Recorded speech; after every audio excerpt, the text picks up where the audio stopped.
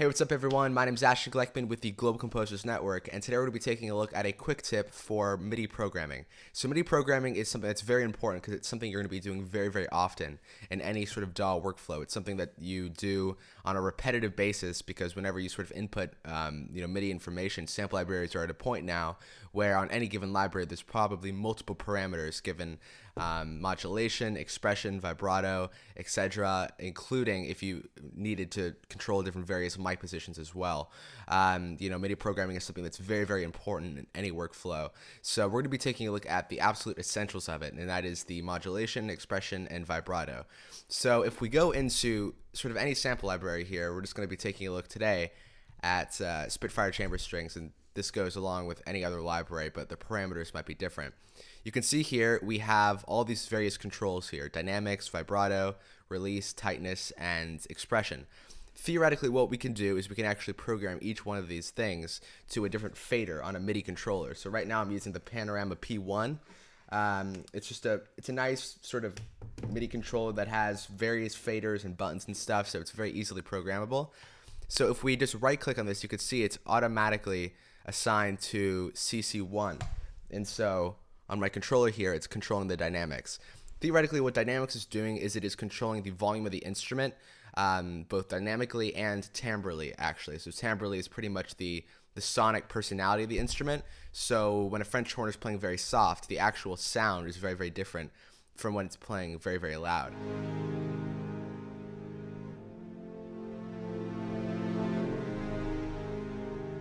So you can see already just playing like that is much better than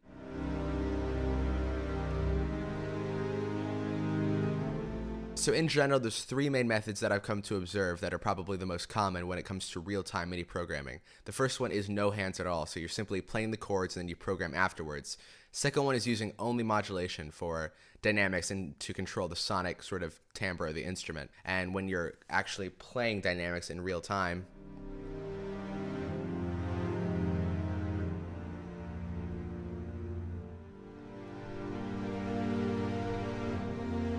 it gives you that sort of uh, flexibility and it really it makes it sound a little bit more personalized and so i definitely recommend recording with dynamics.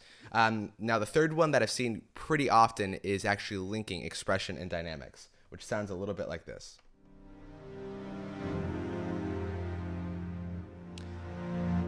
And in general what this really does is it just um, it adds more pressure to the volume of the mod of the modulation. Because when we're controlling modulation we are controlling volume but when we control expression as well it adds just a little bit more of that um, tightness when it comes to the volume. So that's something that you can also do as well. I usually like to add an expression after I add in the dynamics. So I have this piece here and I'm just going to record with no hands no MIDI anything and we're going to take a look at how to program from absolutely nothing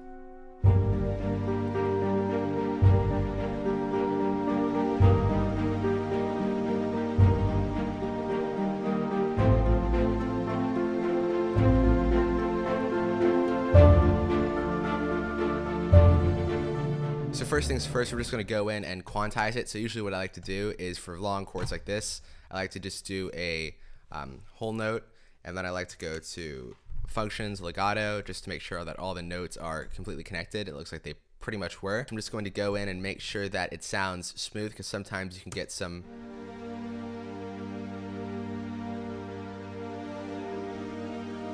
you know, for example, what I'd like to do is just like to drag it over ever so slightly so that you just get a little bit of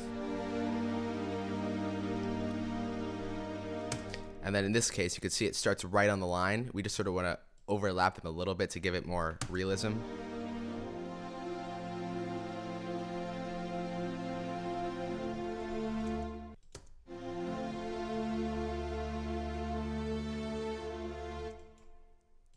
And that seems like it's pretty good. So um, next thing we're going to do is we're just going to record modulation on its own.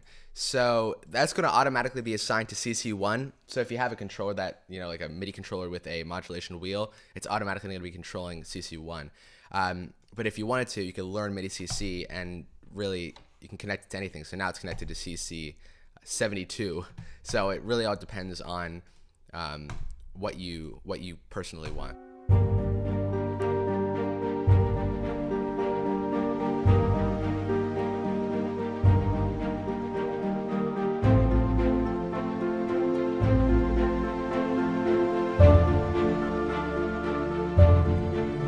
So you can see this uh, modulation uh, parameter that we just recorded is sort of this weird translucent um, MIDI region that has nothing in it.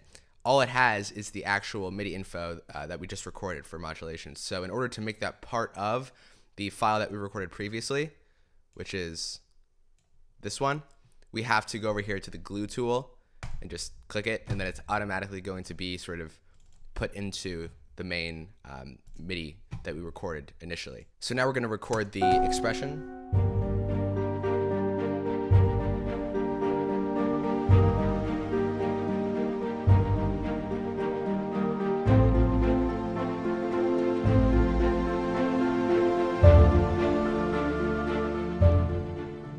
Okay, so now that we have modulation and expression, I just like to go in and make sure everything is smooth.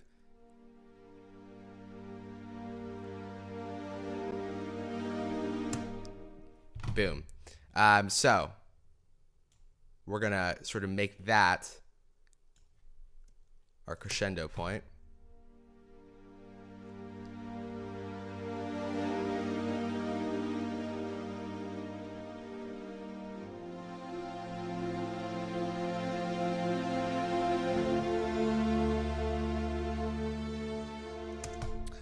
right? So now we're going to do the exact same thing with our expression.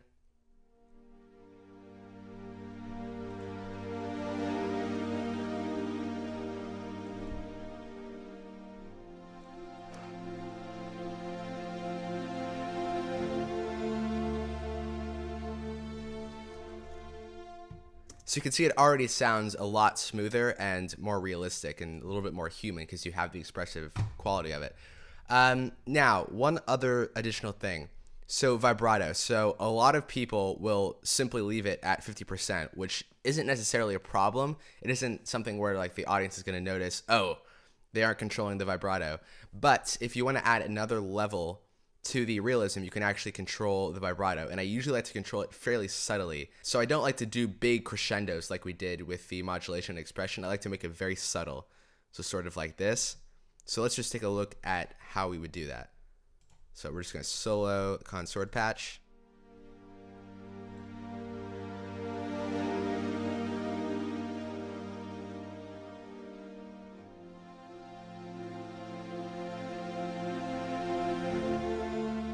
So you can see it's super, super subtle, but it changes the subtle characteristic of the instrument and just adds another level of um, that human element. Okay, so here is our vibrato, which is under, for some reason, the portamento.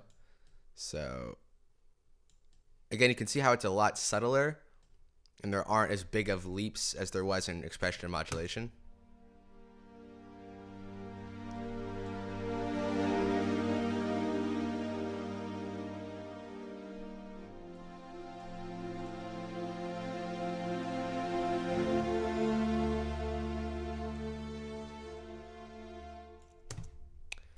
So now when we play this contextually,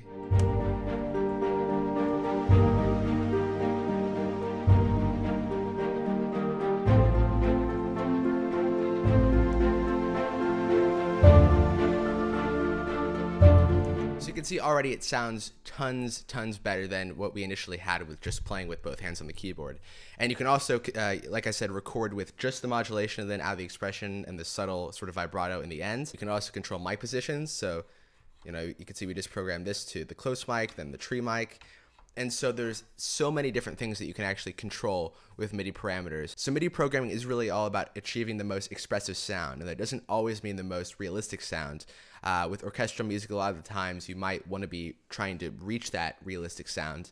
Um, but you know, with huge, gigantic Hollywood scores like Batman v Superman, um, you know, sometimes realism isn't always the way to go. For example, like for a timpani, you can't have super, super fast timpani lines in um, a real sort of orchestral setting because it's just not possible unless you have 10 timpani drums. But um, with you know MIDI and programming and everything like that, you can break the rules a little bit and sort of add another dimension that wouldn't be possible in the real world. So there is always um, a sort of wide open arena for breaking the rules of realism and uh, going outside the boundaries of the norm. So thanks so much for watching. Hope you guys enjoyed the video. If you did, do be sure that you subscribe down below and you will see all the latest videos from GCN, including interviews, quick tips, and more.